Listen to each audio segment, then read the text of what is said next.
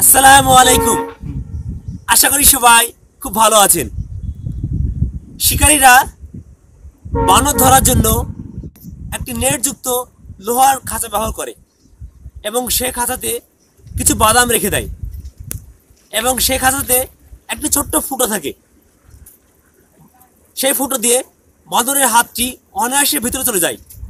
কিন্তু যখন বানর হাতে বাদামগুলি ধরে, তখন তার মুষ্টিবদ্ধ হাত আর বেরিয়ে আসে না। তখন বানর শিকারীর হাতে ধরা পড়ে যায়।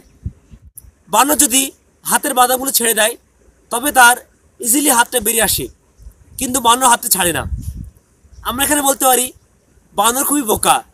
তাই সে এই কটা বাদামের জন্য সে শিকারীর হাতে বন্দী হয়ে যায়।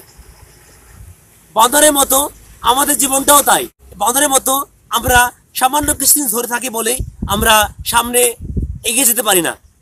আমাদের দুনিয়ার চাকচিক্য, আমরা দুনিয়ার ধোকায় পড়ে যাই। আমরা শয়তানের ফাঁদে পড়ে যাই। আমরা জানি যে জিনিসগুলি আমাদেরকে পেছনে টেনে ধরে রেখেছে, তবুও আমরা সেগুলি ছাড়ি না। ফলে আমরা সামনে এগিয়ে যেতে পারি না। আমরা যদি একটু চিন্তা ভাবনা করে সে জিনিসগুলো ছেড়ে দিই, আমাদের ব্যাড হ্যাবিটগুলোকে ত্যাগ করে দিই, তারপরে আমরা আগে বেরিয়ে যেতে পারব, ইনশাআল্লাহ।